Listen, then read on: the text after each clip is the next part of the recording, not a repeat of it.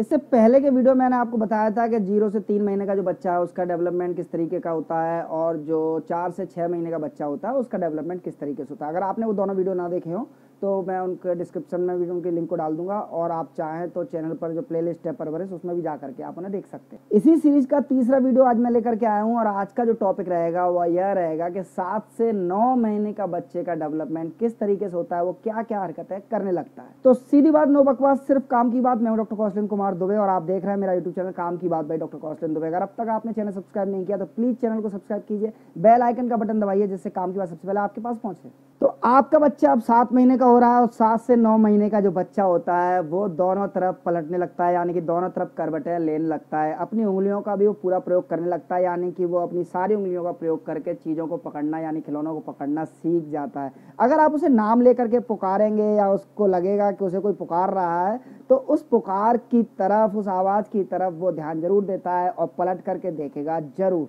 सात से नौ महीने के बच्चे के खिलौने को अगर आप उसके सामने छुपाएँगे मतलब उसके सामने नाटक करेंगे छुपाने का तो वो उस खिलौने को ढूँढने की कोशिश करता है। यानी कि इस उम्र के बच्चे को छुपन छुपाई का खेल पसंद है। परिचित चेहरा और परिचित खिलौना अगर उसके सामने आएगा तो वो घूम करके उसकी तरफ़ ध्यान आकर्षित ज़रूर करेगा।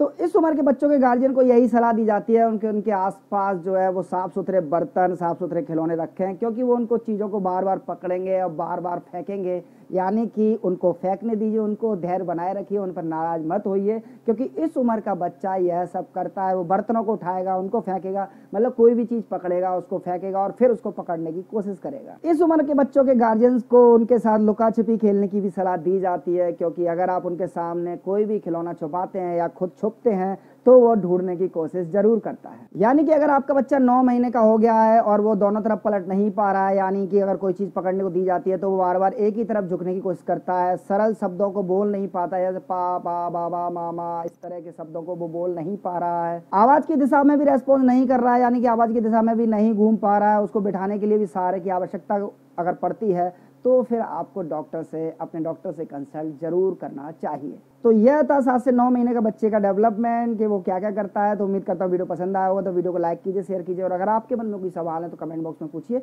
उनके जवाब देने की मैं पूरी पूरी कोशिश करूँगा। नए वीडियो, नए टॉपिक के साथ आपसे फिर से मुलाकात होगी। तब तक के लिए चाहूँगा जय हिंद।